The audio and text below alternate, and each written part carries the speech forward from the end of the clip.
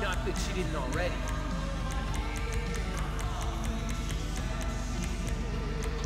That is hot, if I do say so myself. I can almost hear it growling her head. You brake too quick with these guys, you'll go over your handlebars.